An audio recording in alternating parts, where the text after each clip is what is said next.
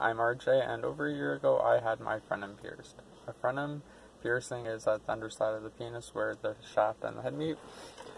I did an update video at two weeks. Everything was good. Uh, I loved the piercing. I was very happy with it.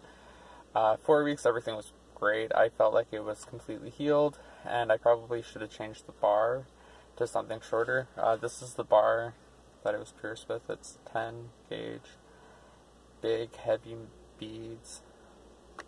Pretty awesome. Um, very heavy. Uh, I had sex at five weeks and I tore the piercing and it became really crooked and I was not happy with how it looked. Uh, completely my fault. I probably should have changed the barbell once it felt better or talked to my piercer about changing the barbell to something smaller because the swelling was gone. Um, but so yeah, I ended up taking it out probably six, seven weeks or so. Um, would I get it done again? Probably. It was awesome. It didn't really hurt. It healed great. I just would get something smaller than this, like bead wise. Like the 10 gauge bar was great.